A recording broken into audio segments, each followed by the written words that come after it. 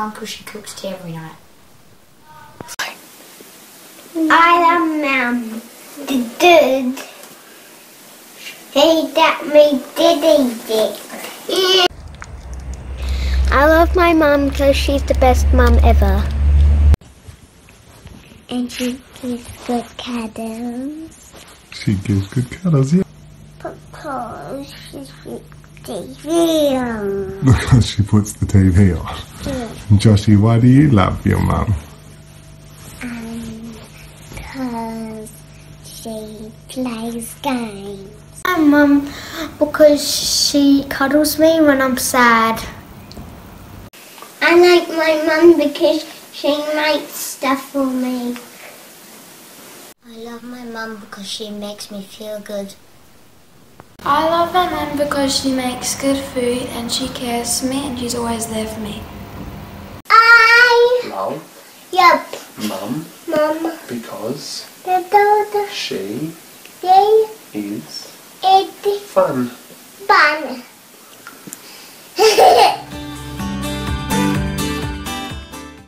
Hello and welcome to St. Peter's Lutheran Church Online. It's wonderful to have you joining us in worship today. And a happy Mother's Day to those mothers who are joining us this morning. Hopefully you've been spoilt this morning already and hopefully you'll be blessed today in our worship service. If you look on the notes section in the online platform, you'll be able to follow along with the, the service order this morning and this afternoon. Let's begin. In the name of the Father, and of the Son, and of the Holy Spirit. Amen. Let's sing together our opening hymn.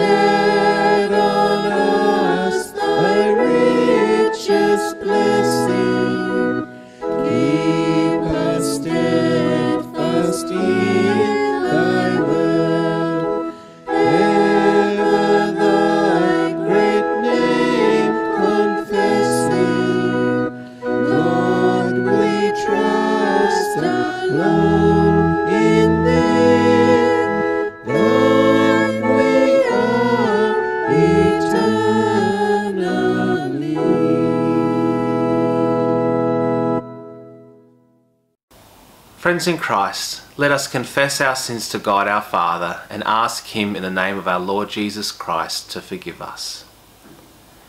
We confess that we are born in bondage to sin and cannot free ourselves. We have sinned against you in thought, word, and deed, by what we have done and by what we have failed to do. We have not loved you with our whole heart, and we have not loved our neighbour as ourselves. We deserve your eternal punishment. For the sake of your Son Jesus Christ, have mercy on us. Forgive us, renew us, and lead us, so that we may delight in your will and walk in your ways to the glory of your holy name. Amen. I ask each of you in the presence of God who searches the heart, do you confess that you have sinned and do you repent of your sins?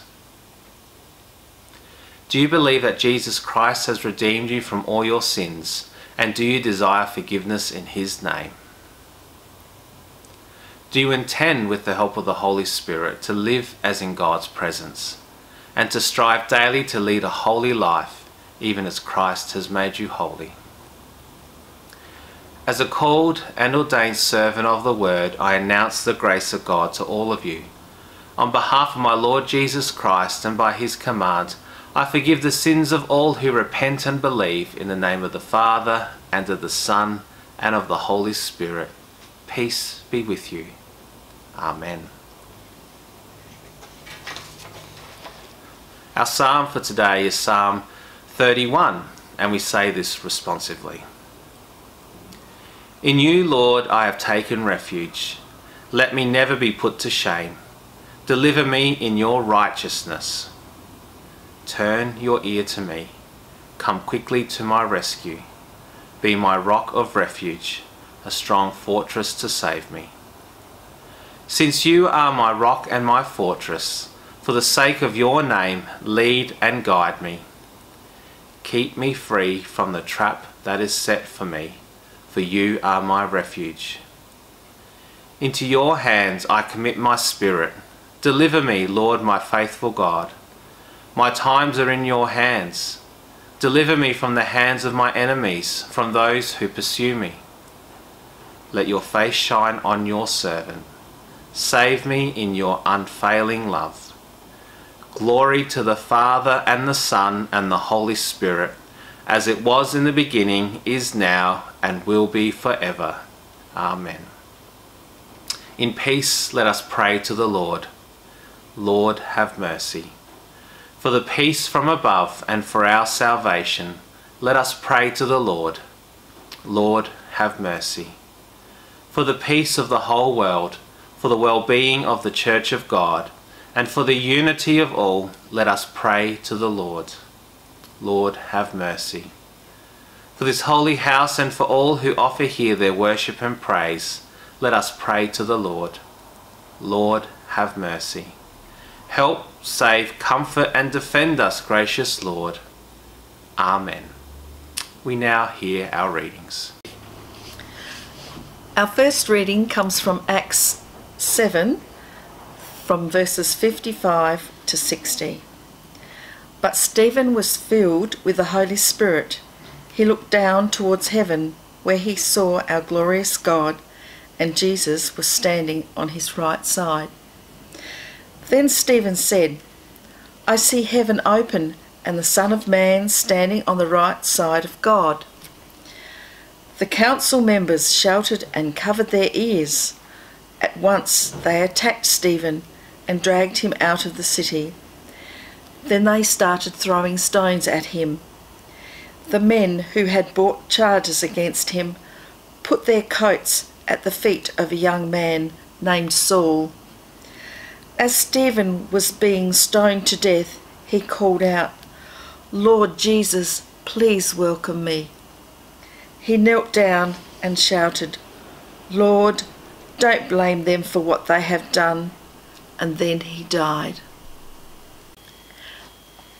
Our second reading comes from John chapter 14, verses 1 to 14. Jesus said to his disciples, Don't be worried, have faith in God and have faith in me. There are many rooms in my Father's house. I wouldn't tell you this unless it were true. I'm going there to prepare a place for you. After I have done this, I'll come back and take you with me.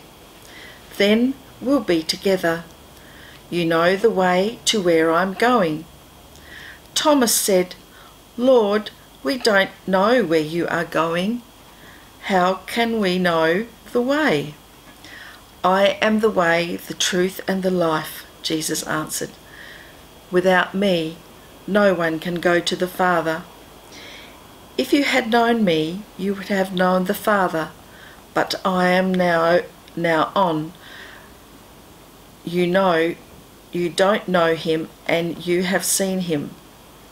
Philip said, "Sh- Lord, show us the Father, that's all we need.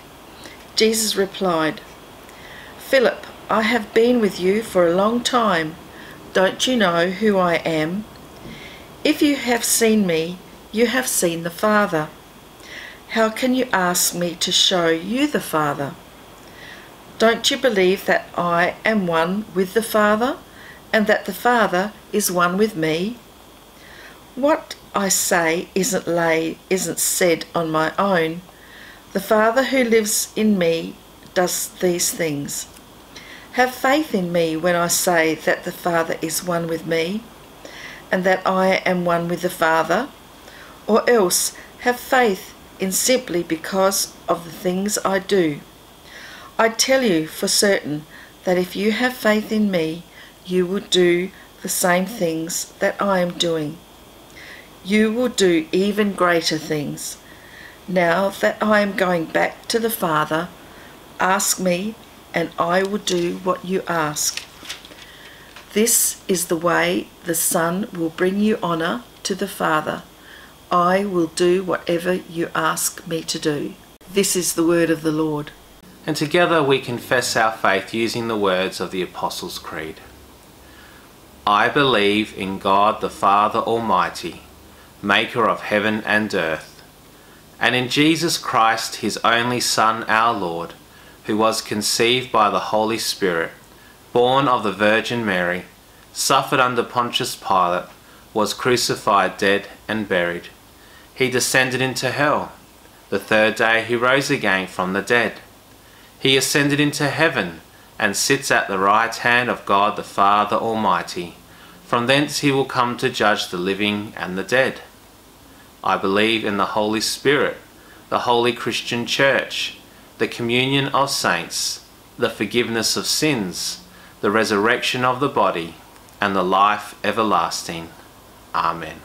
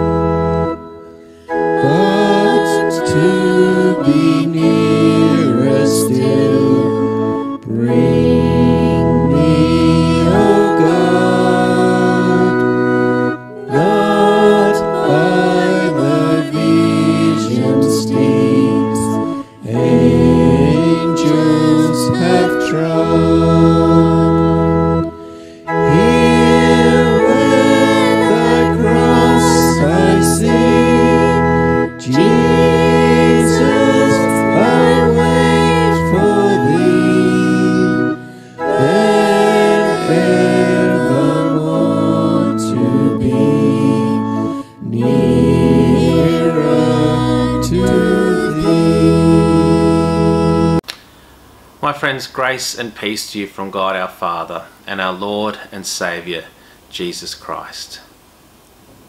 We heard in our Gospel lesson in verse 8 of John 14, Philip saying, Lord, show us the Father, and that will be enough for us. If we go back to John chapter 12, we also hear this. Now there were some Greeks among those who went up to worship at the festival. They came to Philip, who was from Bethsaida in Galilee, with the request Sir, they said, we would like to see Jesus. And we jump to the beginning of John's Gospel to chapter 1, from verse 43, and it says, The next day Jesus decided to leave for Galilee. Finding Philip, he said to him, Follow me. Philip, like Andrew and Peter, was from the town of Bethsaida. Philip found Nathanael and told him, We have found the one Moses wrote about in the law, and about whom the prophets also wrote, Jesus of Nazareth, the son of Joseph. Nazareth? Can anything good come from there? Nathanael asked. Come and see, said Philip.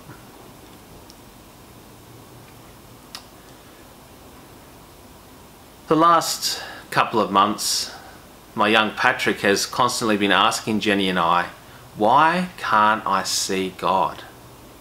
Why can't I see Jesus? Another question I often get asked is, Dad, what does God look like? Dad, when we're all in heaven, will we be able to see God? Usually ends up going, but I want to see God now. This really isn't any different to what Philip is asking. Show us the Father, and that'll be enough for us. And Jesus responds to Philip, Look at me. See me. You have found me.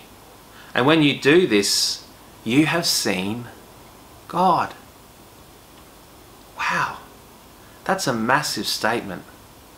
But it's nothing new because Jesus has been dropping hints along the, the way through the journey of John's Gospel. None more obvious than the I am sayings. See, when Jesus says I am in John's Gospel, he's saying I am God. And this goes back to Moses who asks God in the burning bush, Who are you? Who should I tell people who you are? And the response from the, the burning bush is, I am who I am.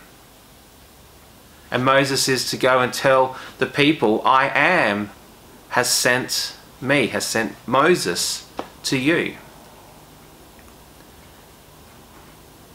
In other words, God is, I am the mighty God who created the heavens and the universe. I am the God who separated the land from the water, who put the stars and the planets in their place, who made the creatures of the earth and the fish of the sea. I am the God of Abraham, Isaac, and Jacob. I am, there is no other like me. This is a massive statement. And yet, as John narrative unfolds, the disciples don't understand who Jesus is. And we can miss this too. And Jesus has just said to his disciples in, in the beginning of chapter 14, he said, I am the way, the truth, and the life. And they miss this huge point that Jesus is making. And so we have Philip saying, I, I want to see God. I want a holy encounter. Makes me ask, is, is Philip looking for the glory when Jesus is pointing him to the cross?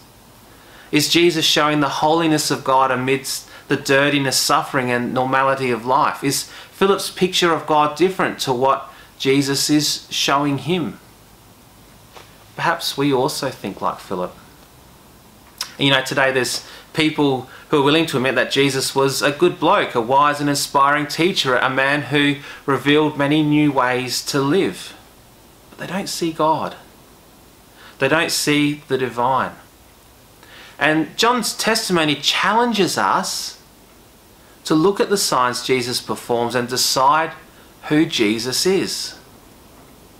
And for John, he proclaims that Jesus is true God and true man. You know, for Philip and for my son Patrick, and perhaps many of us here this morning, we need to hear Jesus tell us, Look at me, and you will see who God is. You know, in my mind, this leads me to the question who is Jesus so I can answer who is God. So we need to journey through John's Gospel and see what Jesus says about himself. And the I am sayings are a, a good place to start. I am the bread of life. I am the light of the world. I am the gate. I am the good shepherd. I am the resurrection and the life. I am the way. I am the vine. But then we can also think about the interactions that Jesus had throughout John's account. We think of Nicodemus. We think of the, the woman at the well. We think of the, the man born blind. We think of Mary, Martha, and Lazarus. We think of Jesus washing his disciples' feet. And what we learn is that Jesus accepts, loves, teaches, challenges, corrects, and leads people. He reveals the God who is love, who comes into the world to be in the world, to be with us, as one of us. How often do we think, though, that God is vindictive, judgmental, angry? But God must always be seen through the lens of Jesus Christ. And sure, Jesus shows righteous anger to those who neglect and abuse the vulnerable. Jesus speaks of judgment of those who reject him, but yet he also embodies grace, forgiveness, and mercy. John's church is saying, We are the people who believe in God, who has been revealed to us decisively in Jesus Christ. So Jesus is more than a, a good bloke, a, a moral teacher. He is God, but a God who comes among his people, who walks the dusty road, who shares, who sheds tears of grief, who experiences pain and suffering and death firsthand. God is closer to us than we often think. So to say I want to see God or I want to know what God is like is, is seeking a, a worldview change. Because when God opens your eyes to see Him, we're able to see His presence in the suffering, in the lowly, in the rejected, in the vulnerable. And this can be difficult for some to accept a God who works in weakness. And this is not the perfect picture of what people expect God to be. And you know, I know and I suspect that many of you know that God is powerful, that God is mighty, but He reveals Himself in the small things. And this doesn't make Him weak, it makes us significant. It shows His nature, a nature that's revealed in Jesus. And so when Jesus says, I am the way, the truth, and the life, he isn't necessarily making an exclusive statement, but a, a pastoral word of hope to his disciples and to us. Look at me and see who your God is. But ultimately, like Philip, we're left with the choice to believe or not to believe that Jesus is more than a good bloke, a prophet, or a teacher. And that's at the centre of John's Gospel. Who is Jesus? If we go right back to the beginning of John's Gospel to the very first chapter, John says, No one has ever seen God. No one has ever seen God. It is God, the only Son, who is close to the Father's heart, who has made him known. So, God the Father is made known in Jesus. So, is it simple enough for us to simply see Jesus as the one who reveals God? Well, on this side of eternity, we live by faith and, and not by sight.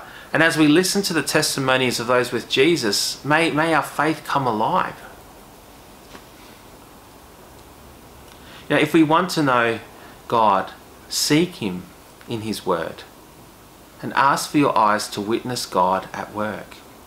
See God at work around you because our God is active in this world. That's what it means to have a God who is in mission who is working in the world through you and through me.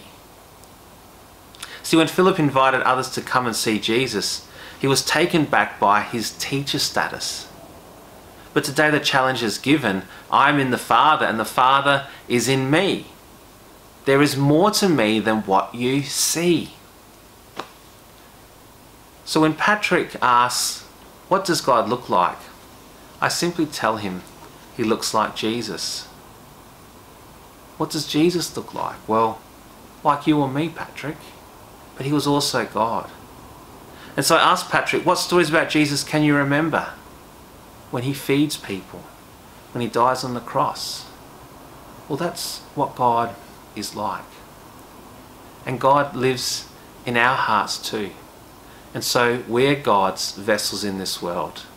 We act in love, we act in forgiveness.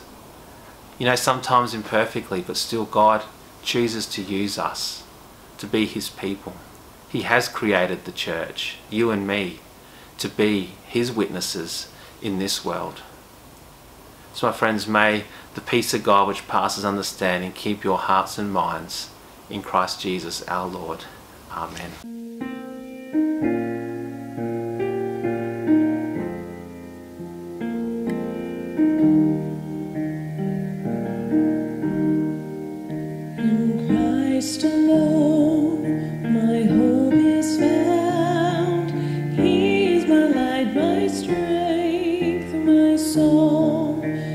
This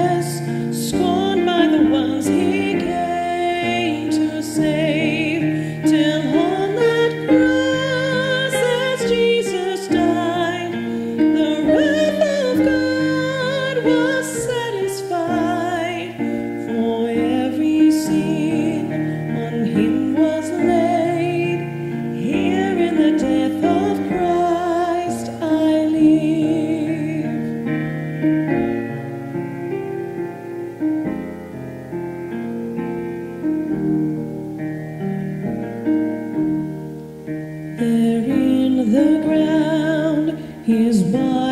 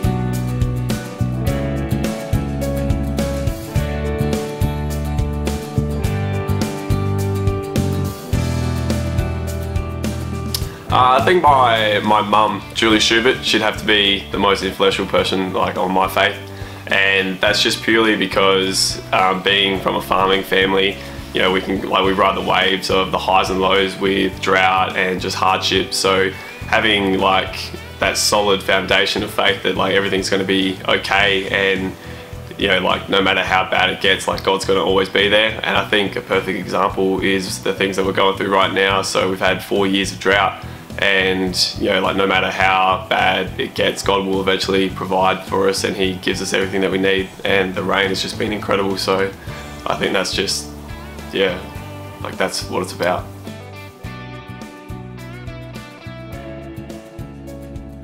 Yeah, so like with my faith, like definitely when I was a kid, it was you know like I went to church because that's what my family did, and then when I moved away and I got a little bit more independence, like I spent a bit of time away from the church, and I, it took me probably a couple years of just like life and going through you know like the journey of faith, and because faith is never linear, it's never you know you just keep building your faith until you reach wherever your goal is with it, it's always going to be up and down, and that's what I've definitely found. So, you know, I went for two years without doing a lot with the church or doing a lot of like working on my faith, and then realizing how much I actually need it when you start to grow up and you need something to lean on. So, I use my faith a lot to get me through with training, traveling. You know, so many unknowns, especially at the moment with COVID 19. Like, we don't know when our volleyball is going to return and like I'm just putting that in God's hands and like, like because I know that no matter what goes on in my life like things are going to be fine and I've been a big advocate for reading your Bible like every day and just trying to stick at it because the more I read the more I learn and the more I really enjoy it so and also having the technology to be able to go online and watch the online church services I think it's really beneficial if I'm traveling and I can't get access to church because I'm somewhere in Thailand or in China so it's been it's been a journey, but it's very doable when for my generation where we use you know social media and the power of social media. So it's been it's been a journey, and I'm sure my faith will continue to grow, and it will continue like it just rides the wave. And slowly we're getting better, and I think everyone's just trying to get better at the end of the day. And I think God can provide us and help us with that.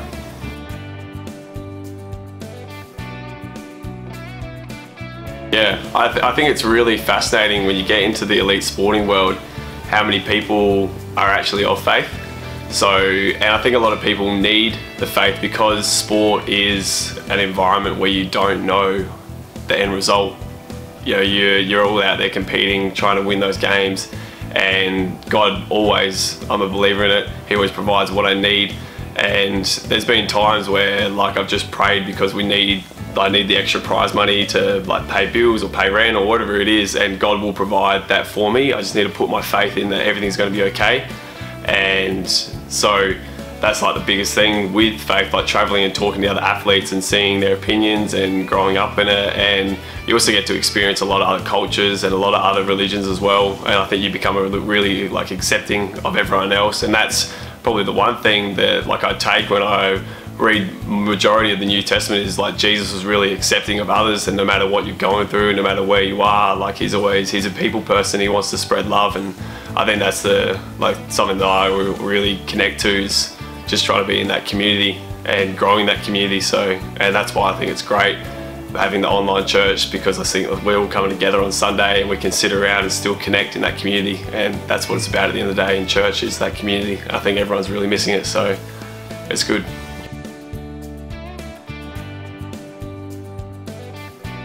Yeah, uh, Bible story. Oh, I've got a few favorite Bible stories, but my absolute favorite Bible verse is life and death is in the power of the tongue, and for those who use it, will eat its fruit.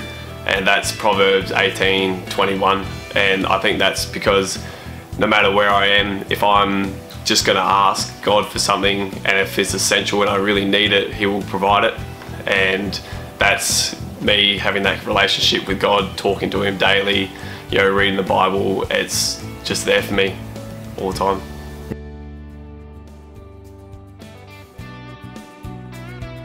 I think um, probably it's never going to be. It's never going to make sense, and you're never going to have all the answers today. And you're going to find the answers over a long period of time. So the stuff that you may be struggling with in today's faith, or like what, where you are at the moment with your faith, it might be really confusing, and you might feel really lost. But if you put the work in, if you take the time to read, to listen, to talk to people, to connect, ask questions, I think you can never ask too many questions with God and faith. So I think I just encourage young people to continue trying to learn and trying to grow because eventually it will start to make sense. And I'm not saying I've got all the answers and I, I don't think I'll ever have all the answers, but I continue to read and I continue to learn and ask Jason and ask my mum and ask anyone who's around. So it's it's pretty yeah, I think that's where I've found the most value is just to continue to grow and it will eventually make sense and you slowly to yeah, like you slowly connect the dots over time.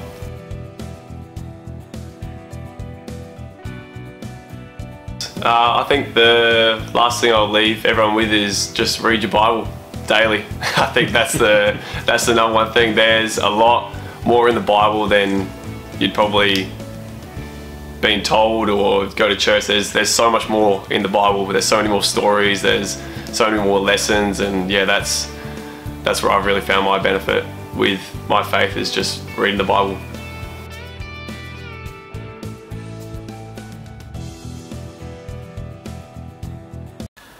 Friends, let us come before our God in a time of prayer. We begin by praying for for um, Mother's Day. My friends, let us come before our God in a time of prayer. And we begin by having a special prayer for Mother's Day. We pray. Gracious God, we pray for new mothers coming to terms with both the joys and demands of motherhood for pregnant mothers, expectant and wondering, or fearful.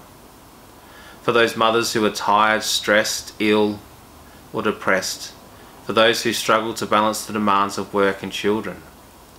For those who have to struggle with difficult decisions about whether or not to become a mother or to have another child. For those who are unable to feed their children due to poverty. For those whose children have physical, mental, or emotional disabilities for those who have children they do not want, for those who raise children on their own, for those who have lost a child through death or abortion, for those who care for the children of others, for those whose children have left home, for those whose children have rejected their love, and for those whose desire to be a mother has not been fulfilled. Bless all mothers, that their love may be deep and tender and that they may lead their children to know and do what is good, living not for themselves but for God and for others. We pray by the power of the Holy Spirit in the name of Jesus Christ. Amen. Lord God, Heavenly Father, we give you thanks for this day. Lord, continually guide us in all that we do as your church. Help us to be witnesses and to share your love with those around us with confidence. Heavenly Father, we continue to pray for our world in this time of COVID 19. Lord, continue to protect us and provide wisdom to, to doctors, to scientists, and to our government leaders. Lord, be with those within our community who live in isolation and fear. Continually um, provide them with your peace and with your love in these days. Lord, we pray for our schools as well in this time. Lord, continue to bless teachers and watch over them, taking this time where their work is quite stressful and time consuming. May Father bless the work of our Loxton Lutheran School too. Continue to bless all the staff, um, continue to be with all the support staff and continue to guide and lead our Principal Brad. Heavenly Father, we ask that you would be with those whom we know to be in need at this time, who are, who are sick, who are recovering, Lord, who are who are caring for others, Lord, who are preparing for, for surgery. Lord, hear us now as we name those people on our hearts at this time.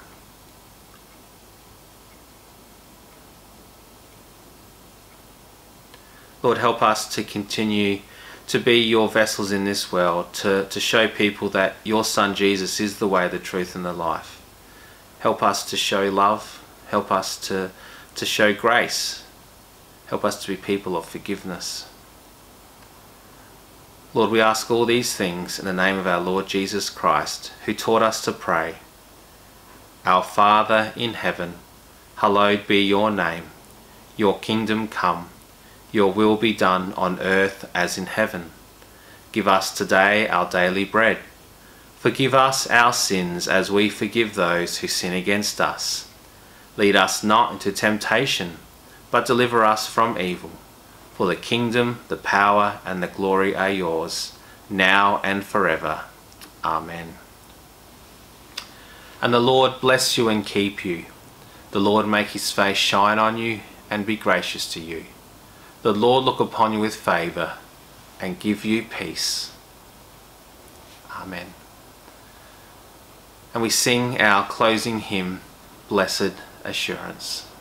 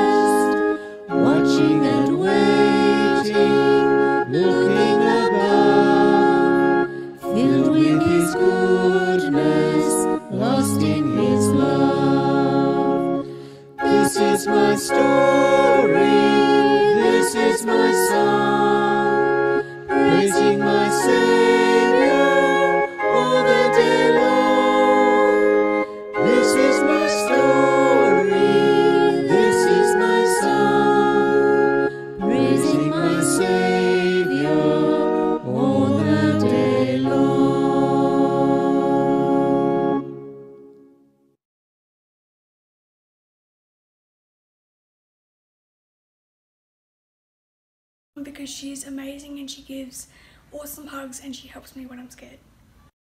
Because she always cares for me. Because she cooks good food. Because of everything she does for me. Because she's funny. Because she cooks for me. Because she's a great role model. Because she's very patient. Because she drives me everywhere. Because she gave birth to me. Because she supports me. Because she makes me food. Because she is selfless. Because she goes out of her way to make me happy. Because she encourages my unconventional hobbies. Because she's so kind and supportive of everyone. Because she pays my phone bill even when I'm supposed to. Because she does stuff for me even though she doesn't want to. Because she's there for me. Because she's good. Yep. Happy Mother's Day!